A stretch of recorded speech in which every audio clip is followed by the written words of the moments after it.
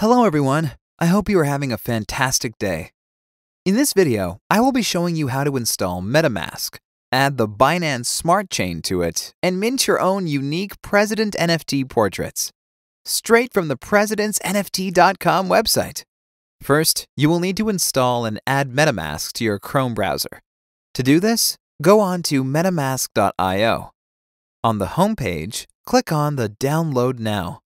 Scroll down and click on Install MetaMask for Chrome. You will be redirected to the Chrome Web Store, where you will need to click Add to Chrome. A window will pop up where you will need to click on Add Extension. Next, you will be redirected onto MetaMask. Click on Create a Wallet or Import Wallet if you already have one. I will create a new wallet. Once redirected, click on I agree. You will then need to type in your password, retype it again below, and click Enter. Once redirected, click Next. Click on Click here to reveal secret words.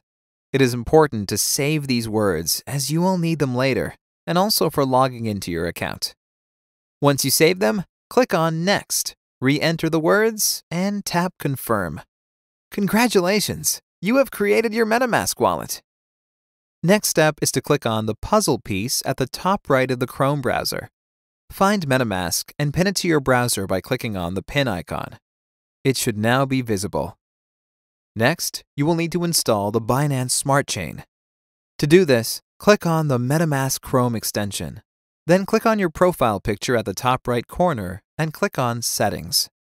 Next, scroll down and click on Networks and then Add a network. Next, type in the following details and click on Save. Congratulations! You have added the Binance Smart Chain and are now on it.